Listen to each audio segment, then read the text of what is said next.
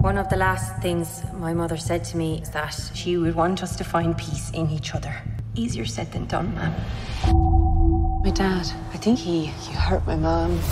Watch yourself. We're a small town, good at burying secrets. You both can't see exactly what he is.